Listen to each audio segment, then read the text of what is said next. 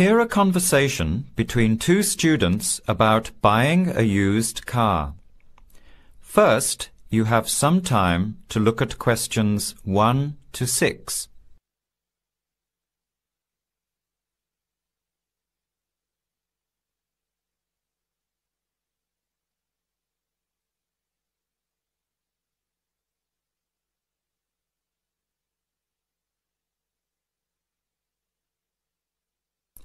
Answer the questions as you listen. You will not hear the recording a second time. Listen carefully to the conversation and answer questions 1 to 6.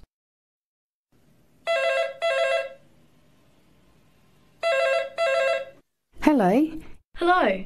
Can I speak to Eleanor, please? this is Eleanor speaking. Hi. My name is Jan. I'm calling about the car that was advertised on the notice board in the Student Union building. Is it still for sale? Yes, it is. Your ad says it's a 1985 Celica, in good condition. It's old, but it has been well looked after. My family has had the car for 10 years. I'm just the third owner, and my mother had it before me, so we know its history. We've got all the receipts and records. It's had regular maintenance, and the brakes were done last year. It runs really well, but looks its age. Why are you selling it, by the way? Well, I'm going overseas next month to study. I'll be away for at least two years, so I have to sell it. Unfortunately, it's been a good car.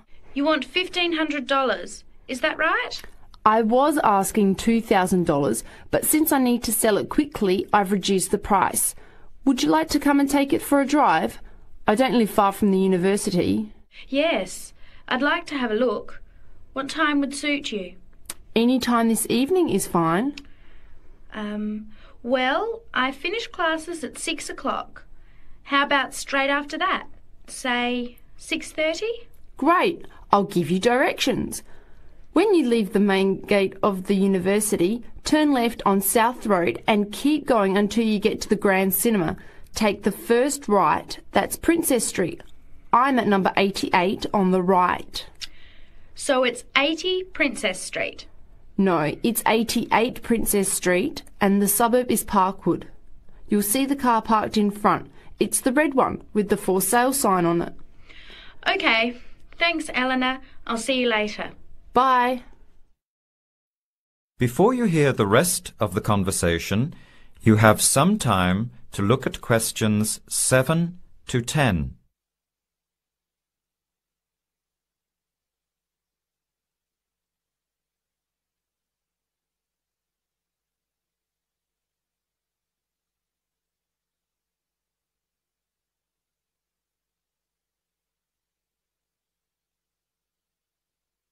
Later that day, at the university, Jan meets up with her friend Sam and tells him about the car. Hi, Sam. Hey, Jan, what's happening? I'm glad I ran into you. I've decided I have to get a car. You're going to buy a car? Do you really need one? I'd probably still be driving, except that my car broke down last year. Instead of getting another one, I just moved closer to the university and went back to riding a bike. Better for the environment, better for my health, and I save a lot of money. Did it really cost that much? Well, when you think of registration, insurance, rising petrol costs, parking plus maintenance and repairs, it adds up.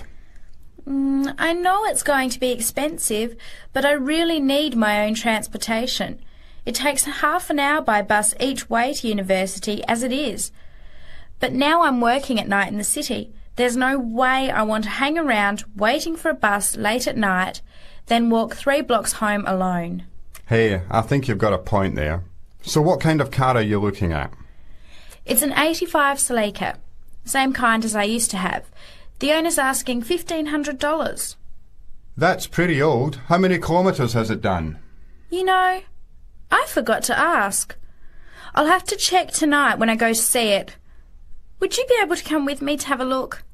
At about 6.30? Sure, I'll come, but I don't know a lot about cars. I do know one thing, though. I wouldn't buy an old car without having a mechanic look at it first. That's a good idea. But won't it cost a lot? Not really. You can get a check done through the Automobile Association for $80 and it comes with a report on the condition of the car. It can save you a lot of money in the long run. I'll keep that in mind.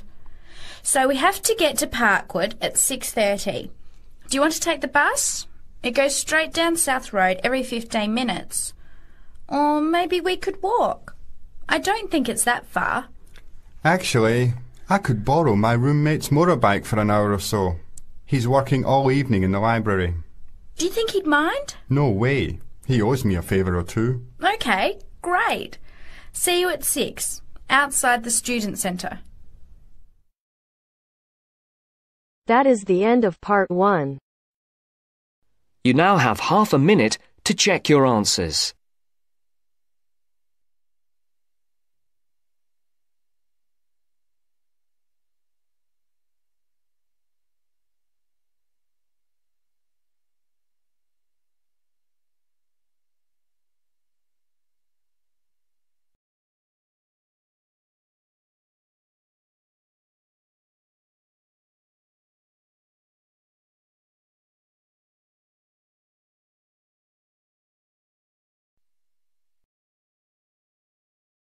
Now turns to part two.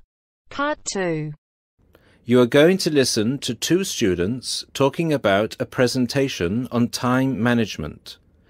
First, you have some time to look at questions 11 to 15.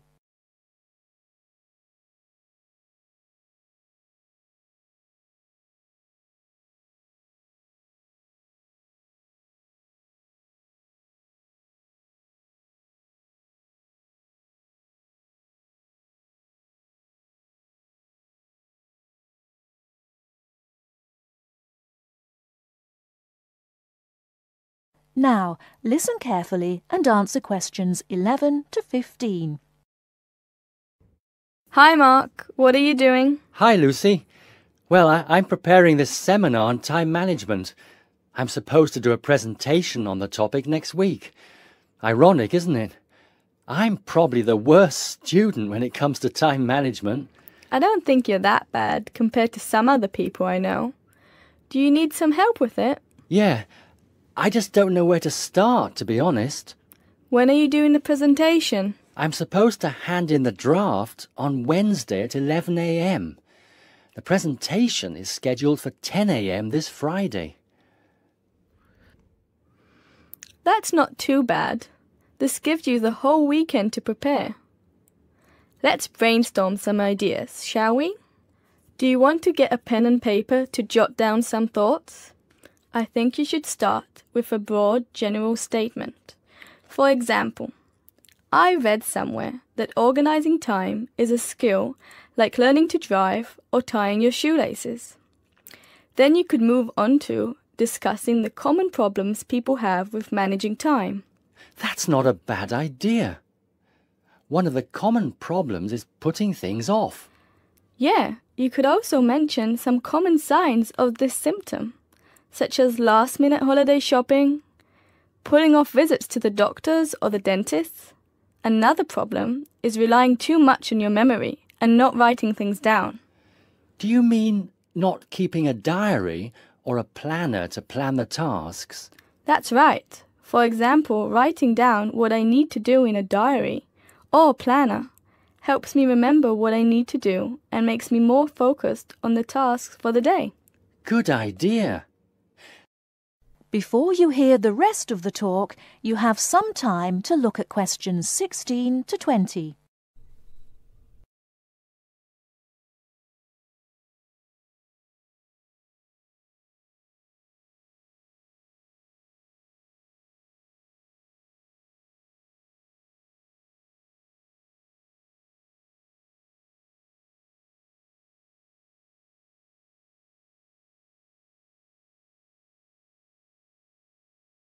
Now listen and answer questions 16 to 20.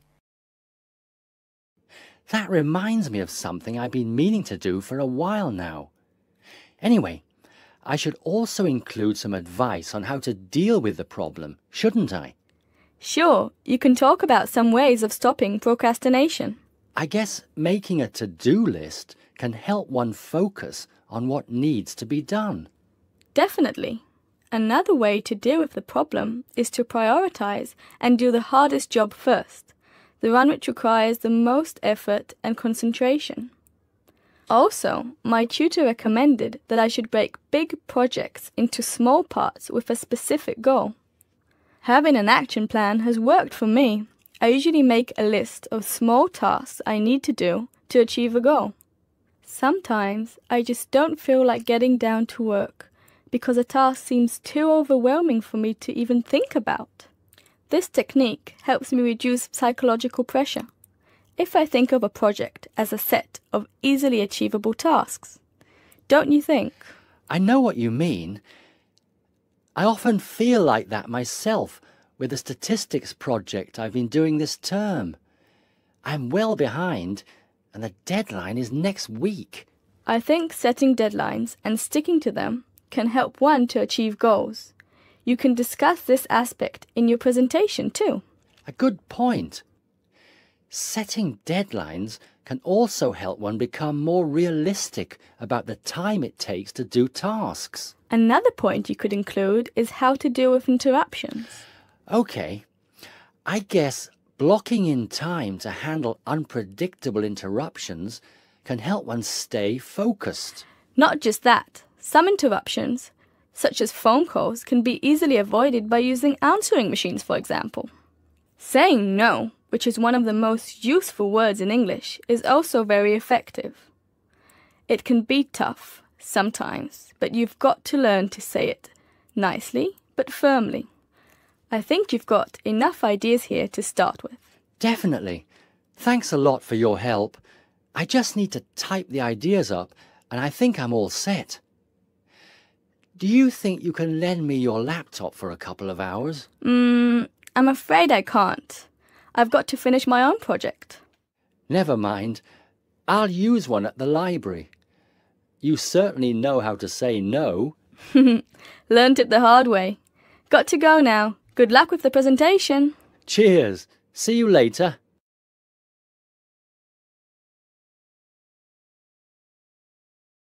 That is the end of part two. You now have half a minute to check your answers.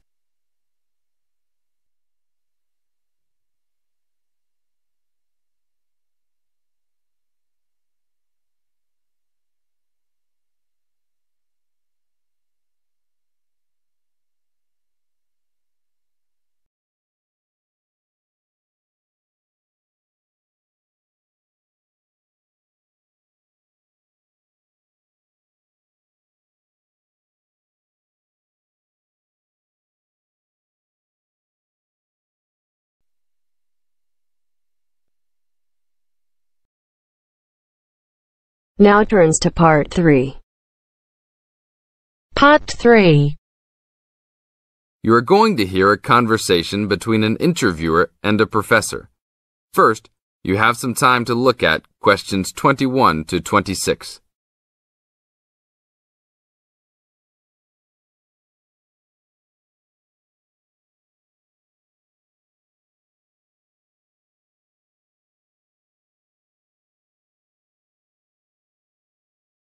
Now listen to the tape and answer questions 21 to 26. Today I'm here with Professor Nittick, who is our new university president. He has been a professor for 20 years and teaches many of the best classes on campus. I know many of you have had him as a teacher and know of his brilliance. Good morning, Professor Nittick. Thank you for stopping by the student station. Thank you for having me here. It is always great to get to meet many of the students who are involved with our school. I haven't been here since two years ago. Yes, I remember at that time you were still teaching every semester. Two years later, you're only teaching every once in a while. But it seems like you are still always busy. The administration world is just as busy as the teaching world for you. How do you stay in touch with the university, even with the change in your everyday duties? I try to stay in touch with what is popular with the university students. I usually spend time with as many students as I can. They usually give me insight into what the new concerns and beliefs are for the new generation. On top of that, I try to be as youthful as I can. I consider myself to be youthful, at least for my age. So I always have a good time and try to stay young. I try my best to not just be a teacher, but also participate in university life. Interesting. So, are you still doing lots of academic work, or are you mostly concentrating on administrative affairs? Well, I mostly do administrative affairs now, but that doesn't mean that I still don't have a very deep interest in academic matters.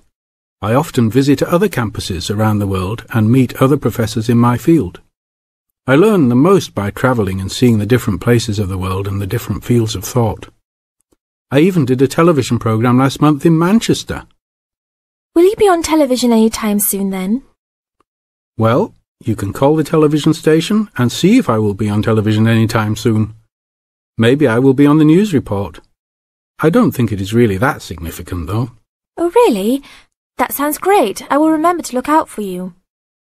Let's move on. With all your busy travelling recently, how do you find time for your personal life? I try to keep my university life separate from my personal life. Sometimes it's hard to find time to just take my wife and three kids out for a family dinner, but usually we all manage to get together every few days. I'm taking a few weeks off next month to take my family down to South America, to Brazil for a few days. I can't wait to just sit on the beach. Wow, that sounds like a wonderful trip. Professor Nittick, could you tell the audience a little about what goes on in an average day of a university administrator? an average day? Oh, I don't think there is such thing as an average day for me. The last few weeks I've been travelling all the time. I can be in Los Angeles in the morning and in New York by the afternoon and back to Los Angeles by the evening. Sometimes I will spend the whole week at a new university, showing the new administrators the ins and outs of running a university. Sometimes I can spend the whole day in the office on the phone, so there really is no average day for me. I guess that is because I do so many different tasks. Sorry to let all the viewers down, but that is the plain truth. Now look at questions 27 to 30.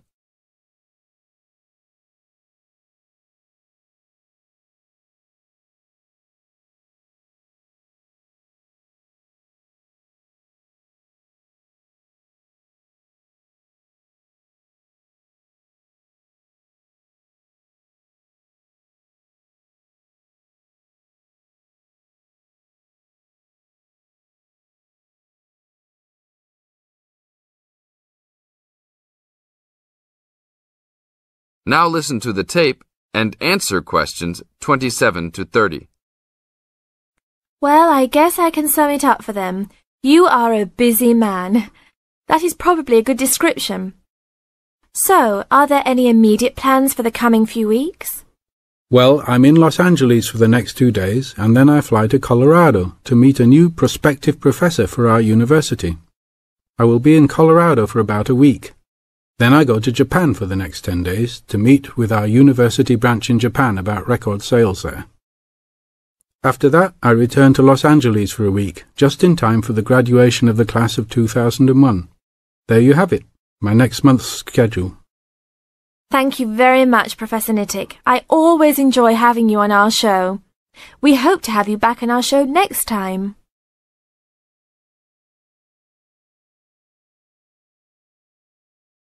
That is the end of part 3. You now have half a minute to check your answers.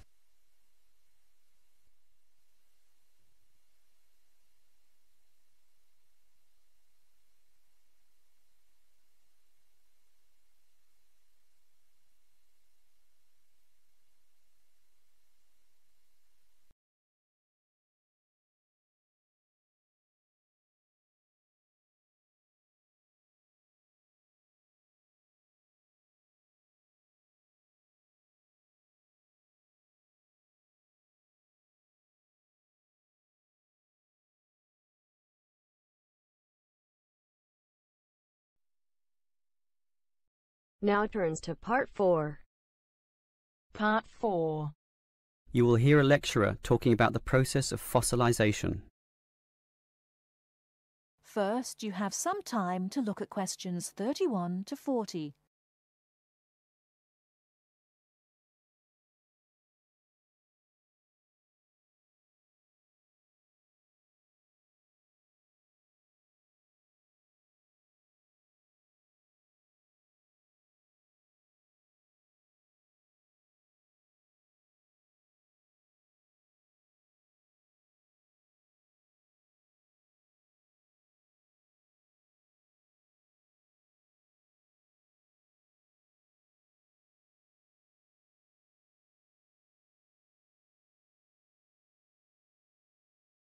Now listen carefully and answer questions 31 to 40. The foremost exhibition in any great natural history museum is almost invariably a skeleton of a large dinosaur. Often the famous Tyrannosaurus rex, or T Rex as it's usually known. Thus, one would think that these skeletons are plentiful, one for each museum, and more to spare in the basement. Well, here's an interesting fact. Almost every one of those T-Rex skeletons are just copies of the original fossils, and we only have 20 sets of these in the whole world. And the most complete is still missing one-fifth of its bones, and the rest are missing a lot more. And given that these dinosaurs once numbered in the thousands and existed on this earth for perhaps three million years, you can realize an obvious fact fossilization is actually an extremely rare occurrence.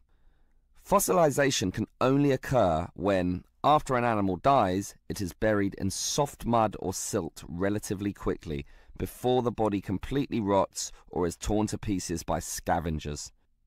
Given this fact, the overwhelming majority of fossils are in marine sediment, where former marine life sank to the sea bottom, where sediment was being continually deposited. This means that we have a fairly good idea of the life in Earth's ancient oceans, but a much sketchier view of the land-based life forms. Fossilization on land needs water and mud, meaning that it is most often near ancient river sites and lakes, but it is still so rare that there are in fact large stretches of geological time about which we don't quite know what was happening at all. So, Given that fossilization is so rare, the natural question is, what can increase its odds? Well, fossilization mostly occurs with organisms which meet three basic criteria. One, they must have hard body parts, for example, shells, plates, bones, and teeth. Unfortunately, the soft parts just rot away far too quickly to be fossilized. And I say unfortunately because it is often the soft fleshy features that most interest us. An elephant's trunk, for example, would not fossilize, and from the skeleton alone, we would never know the trunk was there. The second criterion for more likely fossilization is that the organism in question must have existed in considerable numbers and be spread over a wide geographical range. This simply increases the statistical probability that one of them will one day be fossilized and hopefully found. Finally, and by the same logic, the species needs to have existed on the Earth for a long time, and the longer, the better. So, these are the three main criteria, but there are others. Being a large size, for example, helps us to notice and discover them as fossils more easily, and being a marine organism, as mentioned, helps also. Trilobites, a strange sort of ancient crab, are a perfect example. Their body structure was one of hard plates. They existed over virtually the whole world of their time and over a huge span of geological history, over 250 million years in fact, one of the longest ranges of any creature ever. Added to this, some species could grow to relatively large sizes, and they lived in the sea. Perfect. These creatures meet all the criteria, and as a result, museums all over the world are spilling over with trilobite fossils of all shapes and sizes. As far as fossils go, they are common. So, let's think about T Rex once again. It too basically meets all the criteria that we mentioned. It has hard parts, being the bones, had some dispersion, and had been around for a long time, although it cannot compare to trilobites in this respect. However, it does have one important advantage over trilobites. It is large, very large, which means we can discover it far more easily than many other fossils. And here's another advantage. Dinosaur hunters are a dedicated and fanatical breed, continually at work in all the likely sites of the world. Basically, us human beings are fascinated by these creatures. So much that we are always searching for them, probably more than any other types of fossil, meaning that more T-Rexes will inevitably spring up in the future, and one is certainly glad for this.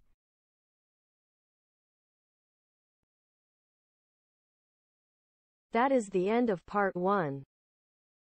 You now have half a minute to check your answers.